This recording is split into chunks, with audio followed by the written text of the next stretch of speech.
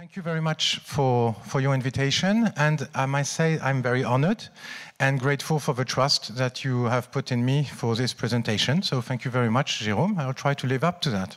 I'll do my best. So, uh, first thing, um, before uh, I begin, I took some notes on the preceding presentation by Olivier, Olivier Ragueneau, who is just in front of me. And I would like to thank him very much for, uh, for doing this, this uh, I would say this, uh, I, don't, I, don't, know how to say it in English, but to uh, défricher, ce travail, how do you say défricher? Ça, ça commence mal. Uh, défricher, défricher, help me, um, to open the way for us uh, and for what we are going to propose now, because it's really outside of, uh, of what is done within institutions. We, we work with institutions, but not, with, not inside institutions. And, and we share a common question at the beginning. The common question was how, and this is something I shared in my, in my work when I was, of course, in the Ministry of, uh, of Ecology. It's how to involve people in the co-construction of knowledge. This is what you said, but not any knowledge. A knowledge that is meaningful. And it is meaningful because it is connected with the condition of habitability on the long term of the Earth. That's why it's meaningful. And that's how it's, it's knowledge that can help us become more terrestrial. This is what you, the words that you use, mentioning uh, the words that Bruno Latour had put forward. Uh, it was at the, the Gifford Lectures the first time that terrestrial came up. It was in 2013, if I remember properly. And um, we share this question, and the way that we try to to work on it, to respond to, to, this, to this question, is to, by taking a, a, position or, uh, uh, that, is, that is the following. It's like an hypothesis.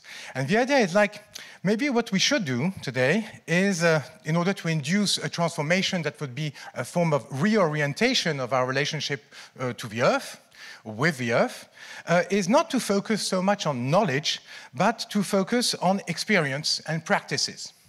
Uh, we, were think, we, were, we, we, are, we are thinking that maybe we should not consider that knowledge should be the condition of change, but maybe, or and transformation, but maybe what we should think, what we should try out is find out if knowledge is not the result of transformation, what comes out of a transformative process. And a knowledge that comes out of a transformative process might be what you call wisdom.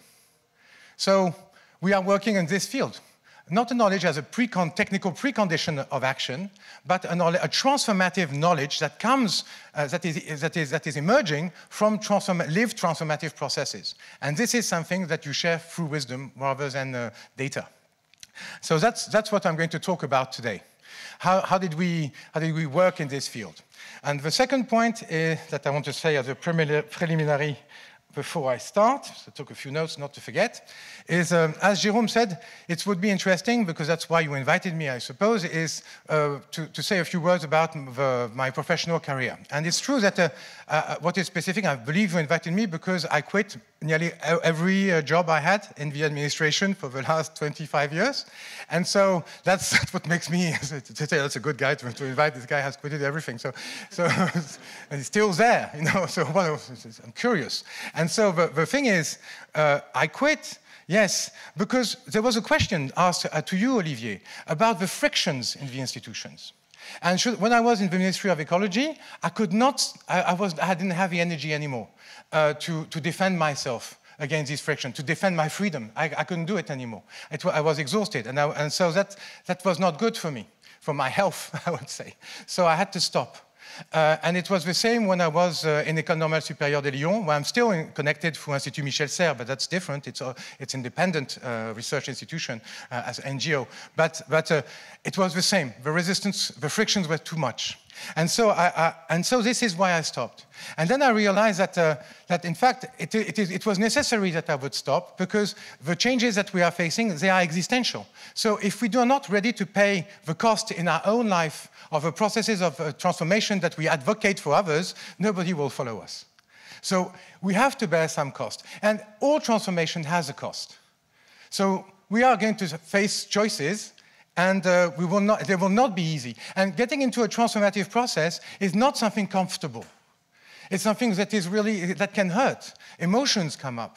Um, resistance, beliefs, you, you are vulnerable. You face your own vulnerability through change. And this is why it's so difficult and it's why it's so easy to be in a situation where you have either working in the logic of interest through globalization, as you said, or logic of identity through populism. You see, that's because we refuse uh, the risk of transformation because it, it has a cost and it's uncomfortable. But it brings a lot of joy. And it brings a lot of regeneration in ourselves and in our relationship with people. And so I would like to be able to share this joy with you today as much as I can. And uh, the last thing I will not be talking about uh, is uh, the Institut Michel Serres. Uh, so I'll just say a few words because they do great things in the Institute Michel Serres. And uh, as on the presentation, I dared to put my, the, the, my affiliation to this. I will just say a few words. The Institute Michel Serres uh, I joined them in idea to help uh, to try and make of the contrat naturel, the natural contract, uh, an actual operational, as you would say, actionable um, political transformative program. How do we do that? And in the Institut Michel Serres, we tried to work on a new generation of indicators. So there was a discussion about uh, ecosystem accounting just a minute ago. And we say, like, it's not sufficient to have ecosystem, ecosystem accounts. What we need is, in fact, to have integrated approach where you can connect human health, social health, and ecosystemic health. And uh, how do you do that? And that's not one health. We called it common health. You see some people asking, you know, how is it different from planetary or One Health? It's very different because the social health dimension is not anymore a black box. And in fact, the articulation between human health and ecological health goes through the redesign and reorganization of the way we, make, we, we create societies together. So that's, what the, the, and that's why it is the contrat naturel. That's why it is a, a way to make the contrat naturel something that we could operate through new system of indicators and methodologies and so on. And that's, that's what we are we are, I would say, we are committed to uh, in the Institut Michel Serres. So that is, something I wanted to mention because I will not be uh, talking about the Institut Michel Serres. The other thing I want to mention too before we begin uh, is uh, it's a very long presentation and Benoit is very worried and, that, and all these four previous talks at the beginning is making you worried. Is that it's not my own presentation, of course.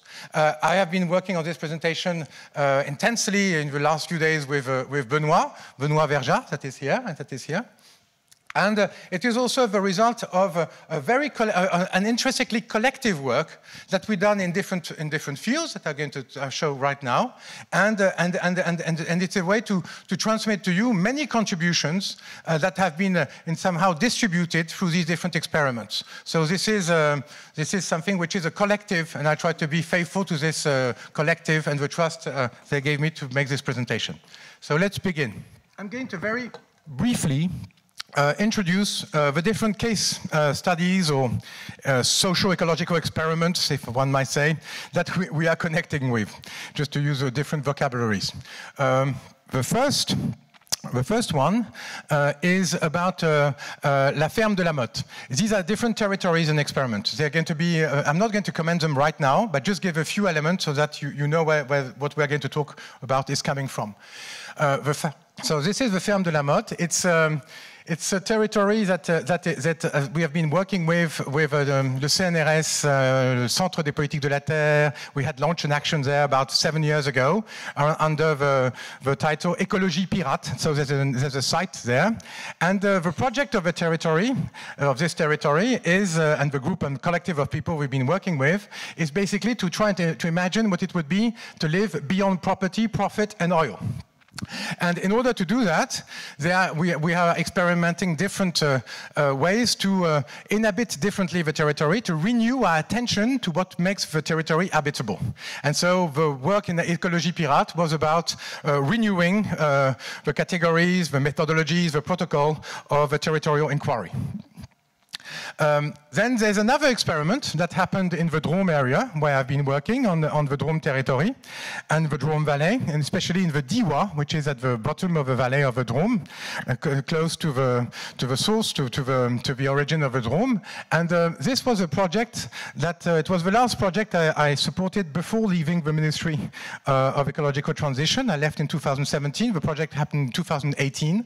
And it's a project where uh, Kogi Mama, indigenous experts, as we say in the um, have come in the Drôme area uh, to confront uh, their knowledge and their way of acquiring and producing knowledge to a group of about 30 scientists. And uh, the Institut Michel Serres and the CNRS LADYSS uh, were partners on the scientific side of this experiment.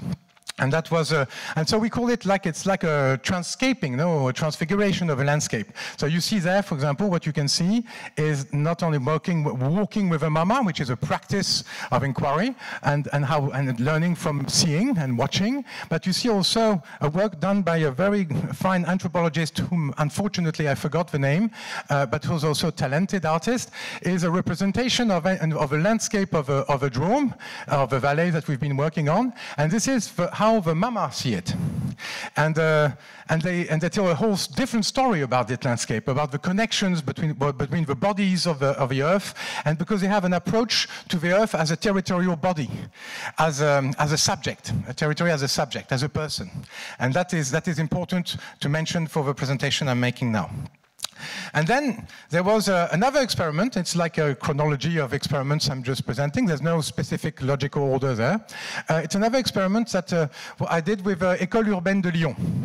The École Urbaine de Lyon uh, was it, it, was led is led I don't know exactly was is but with by Michel Lussault, and the idea was to, was to develop a new a new form of training where we would try and find out how to, to learn with the people we train what we don't know what to do uh, and how to do it. So to design, in fact, a process of inquiry and uh, forecasting exercises uh, on one site, it was Rive de Gier. And, uh, and uh, that, that is something we did in 2020. It's important also because you'll see in the presentation that it, we make some references to this kind of approach by training for inquiry. And then there's another project in, in, uh, in Seine-Saint-Denis, uh, which name is Zone Sensible.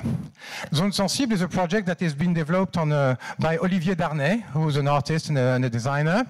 And it's uh, one hectare uh, of, uh, of a former lettuce monoculture in, the, in the Petite Couronne Parisienne that has been transformed into an art center, but is all, which is also an urban farm.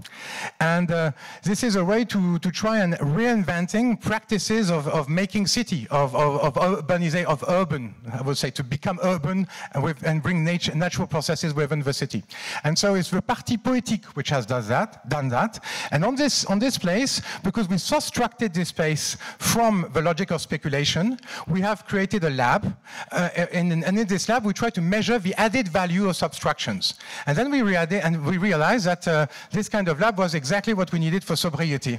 And uh, to try try and measure added values of subtractions. So this is something we are doing right now. It's a project which is supported by Fondation de France. And we did uh, in, the, in, this project an exhibition in July and up to October on transformative practices uh, on, the, on this site. And then there's another site, just quick descriptive presentation, which is in fact uh, the place where we started working with, with, uh, with, Benoit, which is in the Montagne Limousine, and which is linked to um, uh, um, um, a project developed by a local NGO named Quartier Rouge, which engaged into the issue of cohabiting with great predators, and specifically with wolves, which return on this territory. So we'll see later on about, I go more in depth on this territory. So all these territories as you can see here, all these, all these projects, um, they have in common that, and I, this is a bit abstract, but uh, I, don't need, I don't think I need to go through everything I wrote here and read it aloud. But uh, basically what they have in common is the fact that they, they all share the same understanding of what is happening to the way, what, what experience means in the Anthropocene. Um, the, the elements that, that, I put here to illustrate that, uh, you could have experimented very easily through some kind of speculative walk uh, in uh, Reset Modernity of Bruno Latour in 2013 in Karlsruhe. Reset Modernity was a way to tell us what the Anthropocene has done uh, to what we call the modern experience, the condition of, of, experience. And it is clear that uh, I'm just reporting some of these points that we share, but what is important here is to notice that basically we can't go on looking into experience in the Anthropocene in the same way as we did in order to produce the same kind of knowledge. Uh, for example, it is not possible today to distinguish, to, to, analyze a phenomena by using the categories, very useful. It's something I'm just saying because it's an evidence, but it's good to say it, that are nature and culture. This is clear. We can't do that. But we still make policy by these categories. so it's not something which is that we know it, we understand it, but we still act by them. Uh, and reproduce our institution by them. So it's a problem. Uh, we, we can't today think about, we can't say that we are outside of nature because we are living in a global experiment that we have created by rejecting uh, fossil, uh, uh emitting uh, greenhouse gases in the atmosphere and so on and so on. So all these elements that were, that were uh, the elements that were pivotal and structural of a modern experience are in fact obsolete today. And in these, in these projects, you'll understand why, sh they share this understanding. And what they also share is the consequences of this understanding. The consequences of this understanding is that, in fact, we are living now in a situation of irreducible or uh, uh, radical uncertainty. And this radical uncertainty, we lived what it meant when I say at the beginning here, because what is at stake here, habitability, there's no more long term. You might say there's no more short term. Uh, in, in relationship to human action, I mean not, not, not uh, in an objective way. I'm talking with people who know what long-term mean, so I do not pretend to give a, a definition. But when I say that, I say that for, uh, in, rela in, relation to the framework, the temporal framework through which we act, uh, of our actions, uh, there's no more long term because you see this event, this anomaly here that happened by 50 degrees Celsius in British Columbia last year in July. This, this, event, in fact, is something that was predicted to happen around 2100. It was not something that was predicted to happen yesterday. And uh, so anything can happen right now. And this creates a situation, you see, you keep opening the newspaper, you have a COP news writing coming up right now, and it's always the same thing. Scientists are appalled, they are afraid, they, they, they didn't know that was possible, and so on and so on. Exception has become the rule, not only in our states, but also in the state of nature somehow. Exception has become the rule everywhere. So we are in this situation here. And in order to face this situation, we need to have an approach that will help us, as we say in the Institut Michel Serres, with Olivier Hamant, who has developed approaches around, the, around this work. We need to be able to take into account, in fact, the capacity to, to, to absorb, uh, to, to, to withstand um, large and wide fluctuations. And so uh, the, the, the, the, approach that we need to have to experience is an approach that will help us uh, to, to have this, this, uh, this stance and this position uh, towards, uh, towards uh, amplifying the amplification, the exponential amplification of fluctuations. And the other point that these, that these experiments share is uh, uh, the fact that they value what has been traditionally excluded from the field of uh, scientific modern knowledge, I would say, in, uh, to make it very, very literal and caricatural. If you want, I, am not trying to, to, to, make a point here. I'm just trying to say, like, look, they're going to be very careful of what usually is considered to, to be an anecdote, to be a sensation, to be something which is outside of the scope of serious knowledge making. And uh, this extension, this is Anna Tsing in her book on the mushroom at the end of the world, gave very good analysis of uh, this idea, of this appearance of scalability through which we try, through laboratory uh, artifacts, to try to, to squeeze nature into in order to squeeze things out of it, to squeeze things out of nature. And so this is, this is a, I'm not reading it, I'm just, I suppose you can read this, but you can see that the logic of scalability is in fact a logic which is turned towards uh, performance control and reproduction, uh, of, uh, and, and so an amplification and this is something that, uh, that, that, that, in fact, puts aside uh, anything uh, that could be, in fact, considered as, a, as a, in fact, producing a bifurcation, uh, uh, a, a, novelty, something that would, in fact, be like a, like a, a stone, a small stone in, in, in, in the, the logic of, uh, of um, how to say, reproduction and transmission of, of a knowledge. And that, that is something that you can understand through this kind of, of, of representation as you see here, the logic of scalability, in fact, is like um, using the screen of, uh, uh, of uh, the knowing subject in order to take from the flux of experience only the element that it's going to be able to put to its own purpose. And I mean, it's quite clear that the logic here is to find the causes in order to, able, to be able to reproduce uh, the elements that we need. I mean, it's, it's so evident for you that I, am a bit ashamed that I go too much into details. But this is, this is a way of, uh, of thinking. It's not simply um, uh, it's not simply that, it's, it's, not a criticism of a scientific practice. It's just a way of thinking and, and making knowledge. It's a, very, it's a very pertinent knowledge. It's not a criticism, this. It's just a way of functioning. And this way of functioning has been extremely powerful because we wouldn't be here if, this is, if it was not so efficient and, and, and working out, and it hadn't worked out. But, but you see that it is based on, on, on, on a logic of reduction and amplification here, which is, which is in fact not a way to, to, to be able to um, open ourselves to the, the real flux uh, of experience, to the totality of experience. So what these territories and experiments that I'm talking about, I'm going to go into detail a bit more in a minute, share, is that they have understood that in order to go to be robust, to develop robustness uh, in our strategies and our way of inhabiting territory, what we need to do is also to thicken uh, um, a capacity uh, to take in experience, if I may say it that way. It's a bit uh, awkward, but and one example has been given to me to try and make it clear by what is by Olivier Hamant. Olivier Hamant wrote a nice paper uh, that you can read. It's uh, Plants Show, the, show Us the Light. And uh, it's uh, based on an article on Science, uh, came out Science 2020, uh, about trying to, to analyze why it is that the plants are green.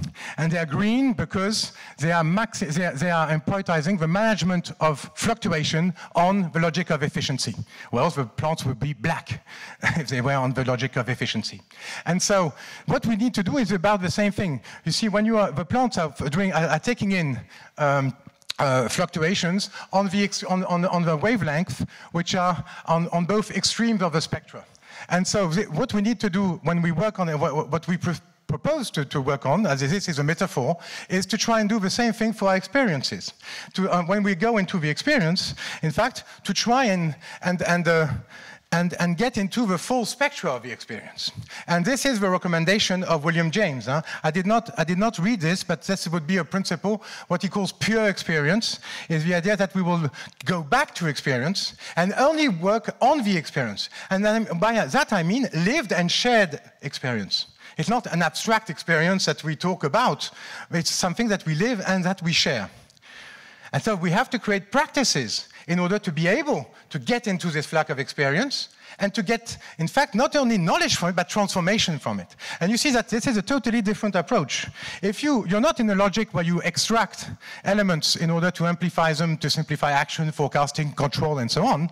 Here, so that's the logic of performance, of optimization, when I saw the scalability. Here you are in a logic, in fact, of transformation, of transformation of yourself and the world, in the, in, in, and this cannot be separate because we know in the Anthropocene that we can't separate ourselves from the planet, from the world, from the, the, the, the medium, the ecological medium that we depend on.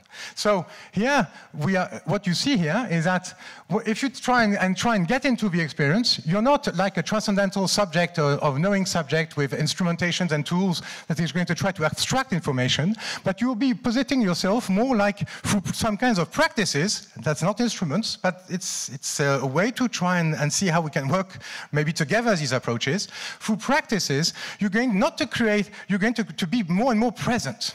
So you're not in the ego transcendental that selects, you are in a, in a, in a becoming present to what is happening to the Ilia, to what is happening.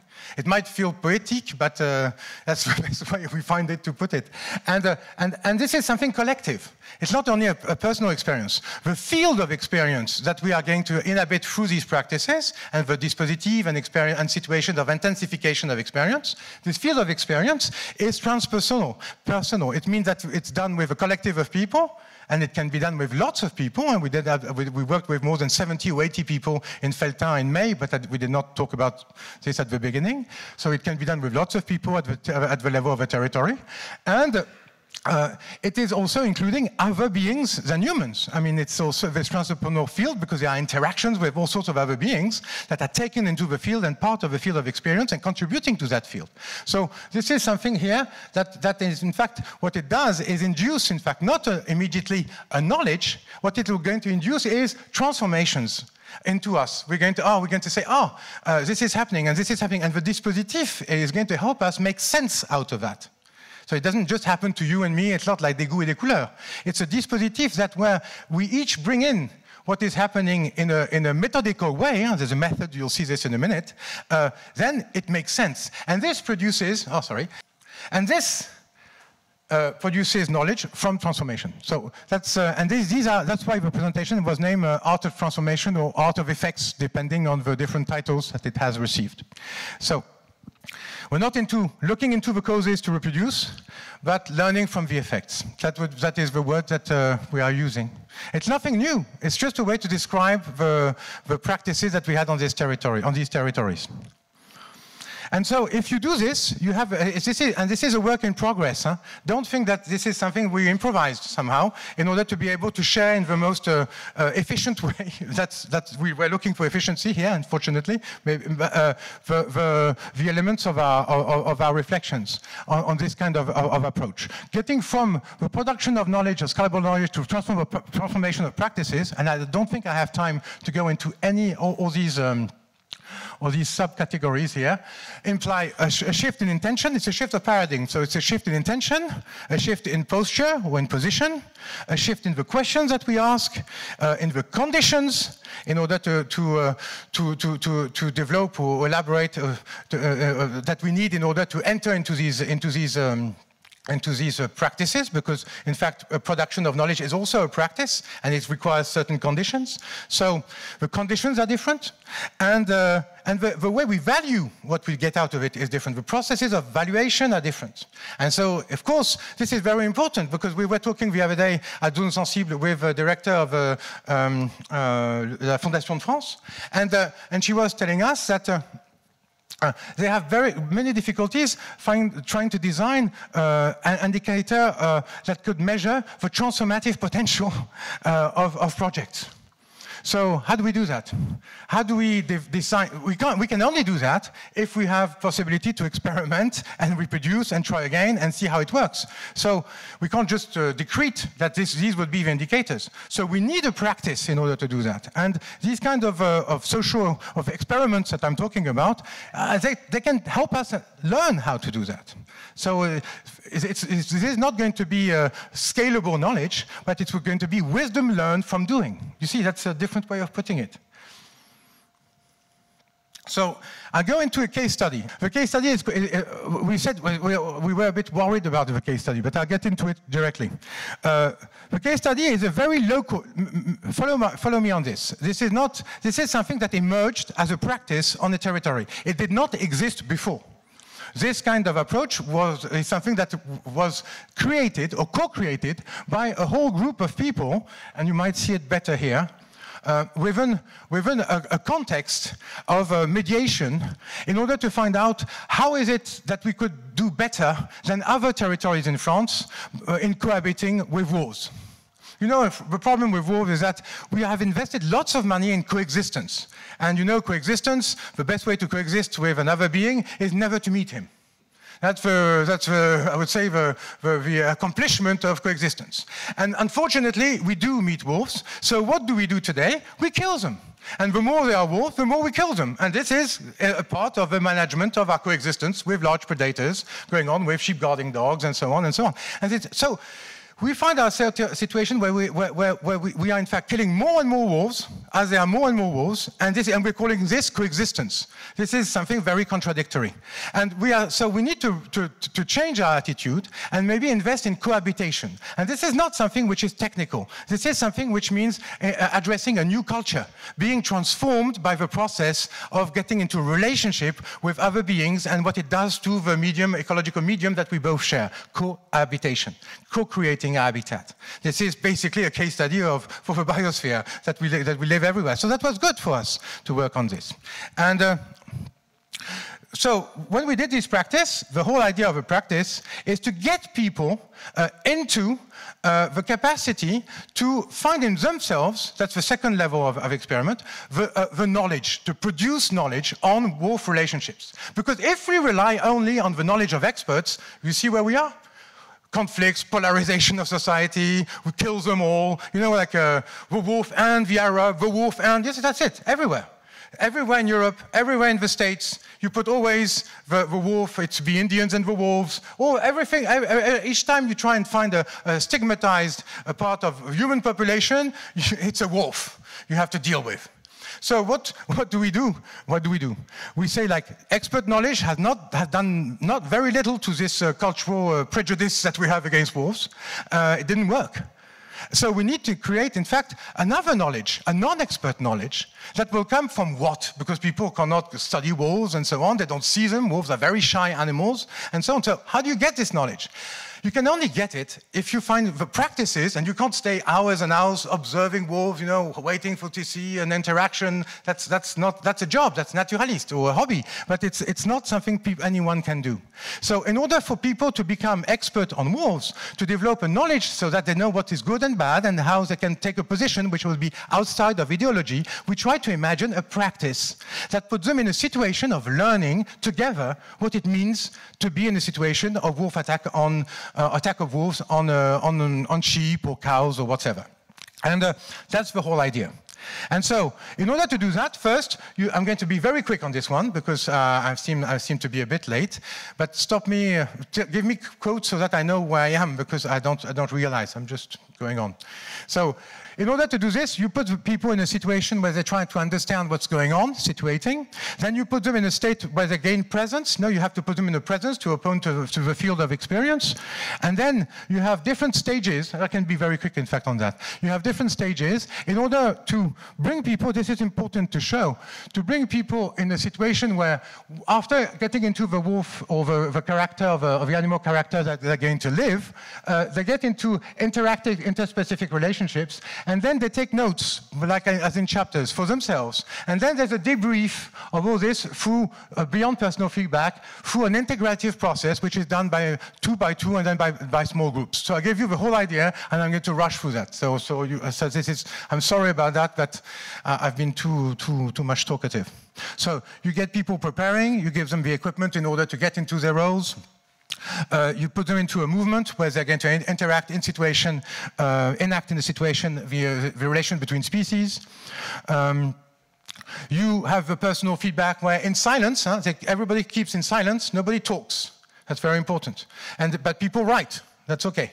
And so people take notes when they're told, when they get out of their slightly modified state of consciousness of being an animal, they come back and write down and so on.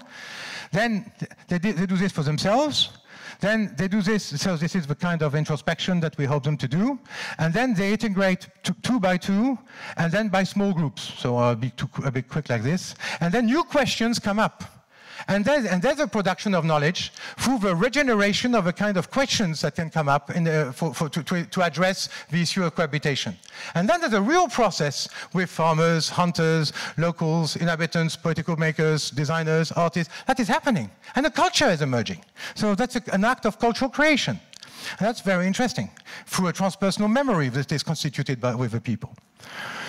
And then, of course, for these practices, you will need, you understand that you will need all sorts of arts, like you have arts for instrumentation to calibrate your instruments. We will need arts to calibrate. So we'll need arts of immersion, of presence, of effects, of integration, of, of anecdotes, of experience all the of telling and so on. All these arts are necessary in order to, to be necessary to be developed as skills to be able to become better in practice because the practice needs to be practiced. So don't do it one time, you do it many times. It's like uh, playing football, rugby, or, or bridge. So you need to do it many times. And so this is something that you will develop skills. And these skills in your life will be very useful. These skills will, in fact, in, induce in society a capacity for transformative practices. This is going to develop a, a social intelligence of what it means transformation and, and transformative practices. This is the, the, intention of this kind of experiment and why we, we want to do, to do it often. And if you think about that, you need a different kind of infrastructure, infrastructure in order to do this. And uh, the kind of infrastructures that you might need to do that uh, are, are, very important because you can't do that anywhere. And as you can't do it in institutions, because this is how I began the course, I can't be in an institution, doesn't work out. So where do you do it? So you have to invent, in fact, the conditions of these practices. And uh, if you think about this, we try to, to, to, do it in a very, very quick way. But you see that uh, if you think about the principles of scalability and non-scalability, the logic of efficiency and robustness, and the logic of thickening of the experience, uh, when you're at the level of what Anna Tsing called the plantation, which is the monoculture, and I'm not going to describe all the characteristics of a monoculture, no time anymore, of a laboratory. You are, in fact, uh, in a logic where you, you, you, you, are, you are on the other side of the kind of knowledge and practices that we are looking for. What, we are going to, what I'm going to talk about here is the notion of territorial. And the territory as a person is what uh, the Kogi live in. So we tried to give you from the plantation to the Kogi, uh, or the indigenous approach to territory, uh, some form of uh, understanding of the kind of infrastructure we are looking for, and which would be connected with critical zone, because it seems that uh, the, the observatories are in between these kind of knowledges. And addressing at least epistemologically this issue of transferability of knowledge what we have here, what I'm going to conclude on is, as I can't do that, is, is a kind of territory that we might be, sorry, I'll just go back here, the kind of that, an, an illustration of what a territoire école might be. And this is the territoire école de la Motte, the first experiment, uh, the first case I, I, showed at the beginning of, uh, of this presentation. Here, you, you, see that it takes time to create a territory. I'm very quick now. It takes time to create a territory, a. It takes years, trust, uh, and living there. You have to live there. You can't do a territoire école if you don't have people who live there, who are connected with others, who are uh, uh, engaging into transformative questioning with them, and so on. So this takes time and commitment. The second aspect is that what we managed to do is like phase the, the stages. How do we do it? So we can reproduce the gesture, the practice uh, of, of, of, making a territoire école. We have been exploring, in fact, how to do it. And this is how concretely it has been done on the territoire de la Motte. I do not have time to go into all the, the elements, but it's just to suggest that it has been done and we can do it again. And uh, when this is this work of institution of a, of a, constitution, institution of a territory, and, and, and, and, and, it has been put into place, and when inquiries have been, practices of inquiry have been developed with the inhabitants in order to define the kind of questions and research and um, work that we want to do on the territory, then you can have une charte du territoire école, which, which is signed, and it could be a network of territoire école that could happen all the way in France. And this is what we're working on, a network of territoire école, and we begin, we have already the charter, the practices, the places, and we're connecting them through training, through inquiry projects. That's the design that we have now. And uh, once you, and you see what a territoire école can produce. A territoire école will start mapping all the transformative practices that we might need to address in a robust way uh, the challenges of the Anthropocene. And this is how they can be uh, useful uh, to and maybe contribute to what you are also doing uh, in your networks. Thank you very much.